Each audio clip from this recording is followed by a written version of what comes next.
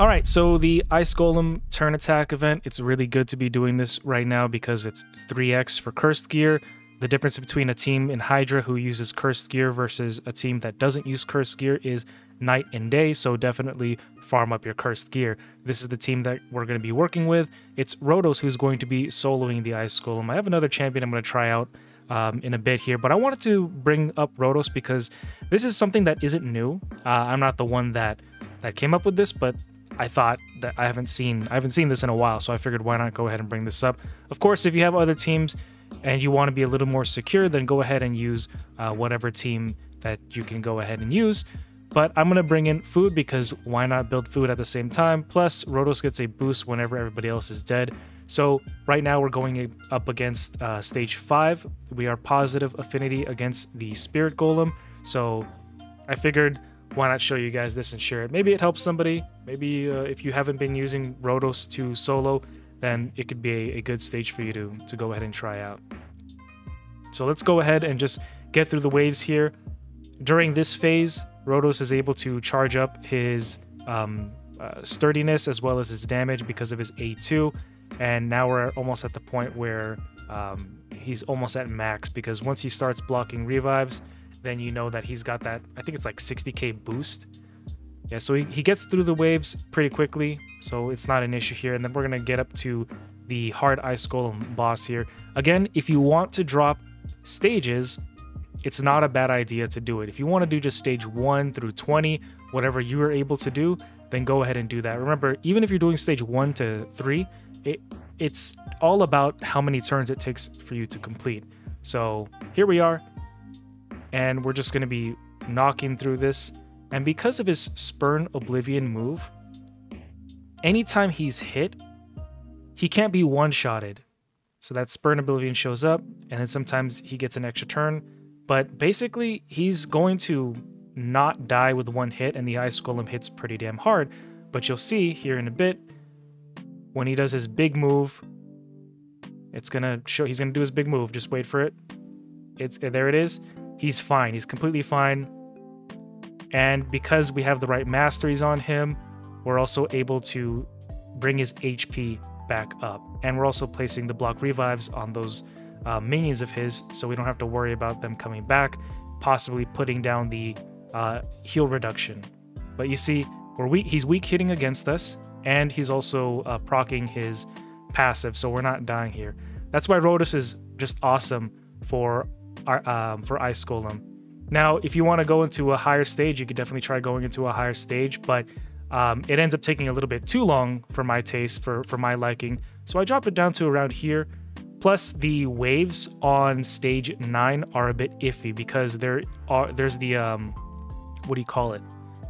What's his name? There's the um, Totua Rhymehides in here who reflect damage. So on the second round, Rotos attacks those guys and he ends up killing himself. So that's something that if you can work around it, go ahead and work around it. But this works for me here. So I'm going to be farming stage 5. Again, Rotos is just absolutely insane in, of, in it of himself. He's an awesome champion. Um, I think it's important to show you guys basically this. This is what I was talking about. He block he blocks revive with this move, and he uh, once he gets enough HP from his Vitality Plunder, which is this A2 right here, destroying max HP, as well as increasing his max HP by 60,000. So he's getting more health, so he's a lot harder to kill. His damage is also based off his HP. So that's why he's really good. And then this, of course, is going to keep him from dying.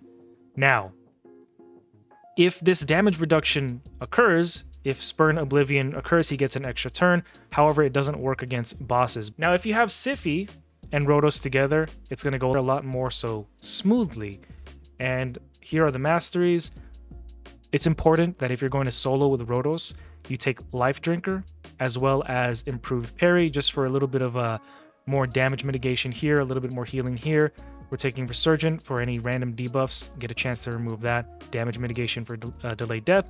And Retribution helps out quite a bit. We're also taking Whirlwind of Death so that he's going faster and faster um, with everybody that he kills, as well as Cycle of Violence to have a chance to be able to put a cooldown on his skills here. You'll notice that Rotos doesn't have crit rate here because the gear that I have on him currently makes it so that if I took this, he would be over crit. So right now we're at 101% crit rate, which is why I just took the extra attack to give him uh, a boost in, in attack here. And then of course, Rotos and Siphi both together um, are able to pretty much do any of the stages together, I would still recommend um, going against uh, a weaker affinity of the Ice Golem. But like I said, you could always tweak the team however you want to, go in with different foods, go in with a full team if you want, or drop stages. But I just wanted to show off my Siphi Rotos combination, if I'm being completely honest with you. But I still wouldn't do this. I would still go back to doing stage uh, 5 with Rotos soloing because, look, it's 7 minutes long, so I don't recommend that. And then, um, yeah, so that's stage 9 in case you wanted to do that. And we brought in some food and we put him in the lead for that 30% or 33% boost to speed, but still was pretty slow. So that's why I recommend going to a lower stage like 5 or maybe even 1. Or you could also do something like um, stage 20 with Mashaled. Mashaled is also an awesome champion for soloing the Ice Golem, and that's because he does things like place the leech or place the continuous heals on himself. So he's really good for, for this stage as well, just because he's able to do a lot of damage and then stay alive for the most part. In fact, uh, somebody in my Discord was the one who actually showed me uh, uh, his version of Mashaled uh, doing stage four by himself. It did take almost eight minutes, so you know uh, keep that in mind. But he can still get it done. Of course, um, not not the recommended, but for this specific event, that's just what we're gonna have to uh, work with. Uh, if you're looking for something to uh, solo the Ice Golem, and then again, this is stage 20. And this is something we don't want to see. We don't want to see that heal reduction because that kind of screws us over, and it could very much uh, mess us up. But again, we're on the lower stages, and um, we're going to be doing just fine. There you go, we survive. We're still taking debuffs, so maybe adjust his resistance. But of course, I'm not going to be using uh, I'll be using Rotos. But again, he's going so fast. He's placing the debuffs, the Leech, the increased speed, the self-buffing. So that's that's pretty huge, right? So I think he's going fast enough, especially with your dead allies, to the point where never mind.